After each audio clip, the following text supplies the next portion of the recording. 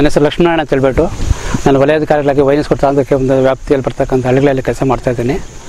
ಈಗ ಮೊದಲು ರೇಷ್ಮೆ ಬೆಳೆಗಾರರು ಕೊಟ್ಟಿಗೆ ಗೊಬ್ಬರ ಹಾಕಿ ಸಿಗ್ದಿದ್ದು ಕೂಡ ದುಡ್ಡು ಖರ್ಚು ಮಾಡೋದು ಕೂಡ ಗೊಬ್ಬರ ಸಿಗ್ತಾ ಇರಲ್ಲ. ಈ ಸಂದರ್ಭದಲ್ಲಿ ನಮ್ಮ ಬಿ ವಸಲ ಗ್ರಾಮದ ಪ್ರಗತಿ ಅಂತ ನಮ್ಮ ಕೇಶ್ ರೆಡ್ಡಿ ಅವರು ಪ್ರತಿ ಬೆಳೆಗೂ ಹಸಿರು ಗೊಬ್ಬರವನ್ನು ಹಾಕಿಬಿಟ್ಟು ಒಳ್ಳೆ ಇಳುವರಿ ತರ್ತಾ ಇದ್ದಾರೆ. ಅವರು ನೋ, ಮಾಡ್ತಾ ಇರ್ತಕ್ಕಂಥ ಕೆಲಸ ನೋಡಿಬಿಟ್ಟು ಕೆಲಸಗಳು ಬೇರೆ ಇರ್ತಾರೆ. ರೈತರು ಕೂಡ ಇದೇ ಪದ್ಧತಿಯಲ್ಲಿ ಹಸಿರು ಗೊಬ್ಬರ ಮಾಡಿ ಟೆಂಚಿಂಗ್ ಮಂಚಿಂಗ್ ಮಾಡೋದ್ರಿಂದ ಒಳ್ಳೆ ಸೊಪ್ಪು, ಕ್ವಾಲಿಟಿ ಆಗಲಿ, ಚೆನ್ನಾಗಿ ಬರ್ತಾ ಇದ್ದಾವೆ. ಆಮೇಲೆ ಈ ಬಿ ವಸಳ್ಳಿ ಗ್ರಾಮದಲ್ಲಿ ಎರಡು ಎರಡು ಚಾಕಿ ಸಾಕಿರೋದ್ರಿಂದ ಇಲ್ಲಿ ಸುಮಾರು ಒಂದು ಅರವತ್ತೈದು ಜನ ಅಂದ ರೈತರು ರೇಷ್ಮೆ ಬೆಳೆಗಾರಿದ್ದಾರೆ ಅವರೆಲ್ಲರೂ ದ್ವಿತೀಯ ಬೆಳೆಗಾರರೇ. ಯಾರು ಸಿ ಎಸ್ ಸಿ ಬಿ ಮಾಡೋದೇ ಇಲ್ಲ. ಪ್ರತಿಯೊಬ್ಬರು ಕೂಡ ಸಿ ಎಸ್ ಆರ್ ಮಾಡಿ ಒಳ್ಳೆ ಅರವತ್ತರಿಂದ ಎಪ್ಪತ್ತು, ಎಪ್ಪತ್ತೈದು ಕೆ ಜಿವರೆಗೂ ಇಳುವರಿ ತರ್ತಾ ಇದ್ದಾರೆ. ಈ ಸಂದರ್ಭದಲ್ಲಿ ನಮ್ಮ ಕೇಶವ ರೆಡ್ಡಿ ಯಾವುದೇ ರೇಷ್ಮೆ ರೇಷ್ಮೆ ಬೆಳೆಗಾರರು ಕನಕಪುರ ಆಗಲಿ ಗೌರಿಬಿದನೂರು ಆಗಲಿ, ಬೇರೆ ಕಡೆಯಿಂದ ಬಂದವರು ನಮ್ಮ ಬಿ ಹೊಸಳ್ಳಿ ಗ್ರಾಮಕ್ಕೆ ಬಂದುಬಿಟ್ಟು ಇವರು ಮಾಡ್ತಕ್ಕಂಥ ಕೆಲಸ, ತೋಟಗಳನ್ನ ಉಳು ಬಗ್ಗೆ ನೋಡಿಬಿಟ್ಟು ಅಧ್ಯಯನಕ್ಕೆ ಬಂದವರೆಲ್ಲ ಇಲ್ಲಿ ಬರ್ತಾ ಇರ್ತಾರೆ. ಅದಕ್ಕೆ ನಮ್ಮ ಕೇಶವ ರೆಡ್ಡಿ ಅವರು ಮಾಡ್ತಕ್ಕಂಥ ಮಹತ್ವ ಕೆಲಸಗಳೇ ಇದಕ್ಕೆ ಉದಾಹರಣೆ. ಕೇಶವ ರೆಡ್ಡಿ ಅವರು ಹಸಿರು ಗೊಬ್ಬರವನ್ನು ಯಾವ ಥರ ಮಾಡ್ತಾರೆ ಅನ್ನೋ ಬಗ್ಗೆ ಅವರ ಮಾತಿನಲ್ಲೇ ಕೇಳೋಣ. ನನ್ನ ಹೆಸರು ಕೇಶವ ರೆಡ್ಡಿ, ಬಿ ಹೊಸಳ್ಳಿ.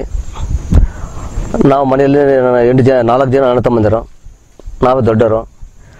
ನಾವು ಹತ್ತು, ಹದಿನೈದು ಎಕರೆ ತೋಟ ಇಲ್ಲಿ ಇಲ್ಲಿ ಪ್ಲಾಟ್ನಲ್ಲಿ. ಹತ್ತು ಎಕರೆ ರೇಷ್ಮೆ ಇಕ್ಕಿದ್ವಿ ಐದು ಎಕರೆ ಎಲೆ ಬಳ್ಳಿ ಮತ್ತು ಅಡಿಕೆ ಇಕ್ಕಿದ್ವಿ ಮೊದಲು ನಾವು ತೊಂಬತ್ತೈದರಲ್ಲಿ ಅವಾಗ ರೇಷ್ಮೆ ಬೇಯಿಸ್ತಾ ಇದ್ವಿ ಅವಾಗ. ಈ ಸಾಲಿನ ಸಾಲು ಎರಡು, ಮತ್ತು ಸಾ ಕಡ್ಡಿಯಿಂದ ಕಡ್ಡಿಗೆ ಎರಡು. ಅವು ಮೇಯಿಸ್ತಾ ಇದ್ವಿ, ಬುಟ್ಟಿಯಲ್ಲಿ ಮೇಯಿಸ್ತಾ ಇದ್ವಿ. ಅವು ಏನು ಬೆಳೆ ಬರ್ತಾ ಇರಲಿಲ್ಲ. ನೂರು ಮಟ್ಟಿಗೆ ಹತ್ತು, ಹದಿನೈದು ಕೆ ಜಿಗಳು ಬೆಳೀತಾ ಇರಲಿಲ್ಲ.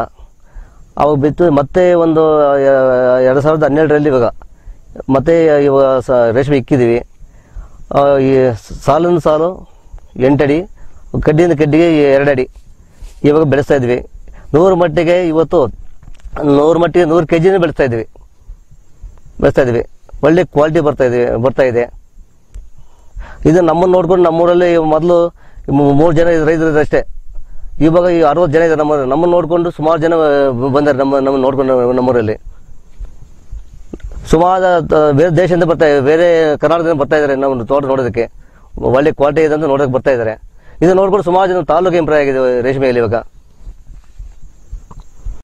ಸಾಲ ಪಕ್ಕದಲ್ಲಿ ಟ್ರೆಂಚಿಂಗ್ ಮಾಡಬೇಕು, ಮಾಡ್ಬೇಕಂತ ಇವಾಗೆಲ್ಲ ಸಣ್ಣ ಇದು ಟ್ರೆಂಚ್ ಹೊಡೆದ್ಬಿಟ್ಟು ಅದರಲ್ಲಿ ಸಣಬೆ ಹಾಕಿದ್ವಿ.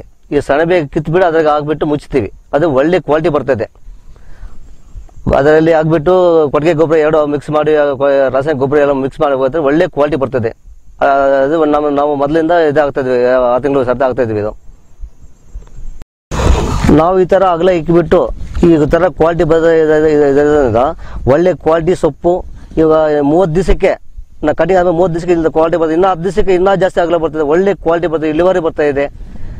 ಈ ತರ ಮಾಡ್ಬೋದು. ಒಳ್ಳೆ ಕ್ವಾಲಿಟಿ ಬರ್ತದೆ ಇದರಲ್ಲಿ. ಇನ್ನೂ ಆಗಲೇ ಬರ್ತಾ ಇದೆ ಇದರಲ್ಲಿ. ಮಂದ.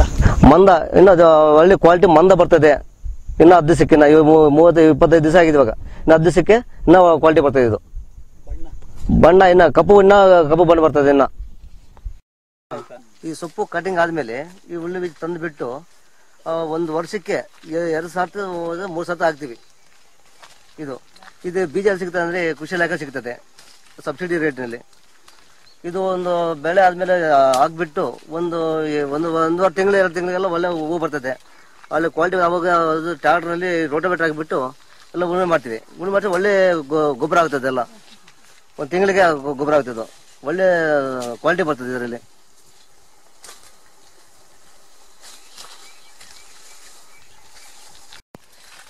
ಇದು ಎರಡ್ ಸಾವಿರದ ಹನ್ನೆರಡರಲ್ಲಿ ಹಾಕಿರೋದು. ಮೂರು ವರ್ಷಕ್ಕೆ ಈ ಗೊಬ್ಬರ ಎಲ್ಲ ಆಗದಕ್ಕೋಸ್ಕರ ಈ ತರ ಬುಡ ಬರ್ತಾ ಇದೆ ಒಳ್ಳೆ ಕ್ವಾಲಿಟಿ ಬರ್ತಾ ಇದೆ.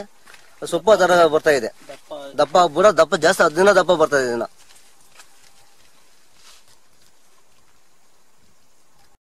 ಹತ್ತಗ್ರ ನಾವು ಮಾಡ್ಬೇಕಾದ್ರೆ ಇವಾಗ ನೀರು ಕಟ್ಟಾಗ ನೀರು ಕಟ್ಟಾಗ ಆಗ್ತಾ ಇಲ್ಲ.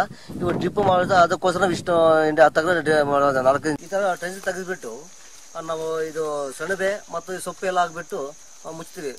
ಕೊಡವೆ ಗೊಬ್ಬರ ಹಾಕ್ಬಿಟ್ಟು ಆ, ಮುಚ್ತೀವಿ ಎಲ್ಲ